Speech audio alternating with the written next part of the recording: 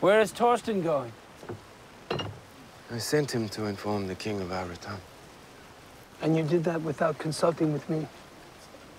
I thought you would both agree. You should have discussed it with us. King Horik is right. We'll try to remember that the next time. There's not going to be a next time, Ragnar. Unless you agree you will never, ever do anything again without consulting with me first. For you and I are not equals.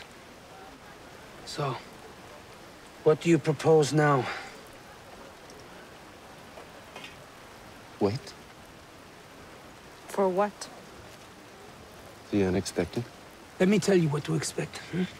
King Egbert will send some envoy to trick us. Or he will send some army to annihilate us.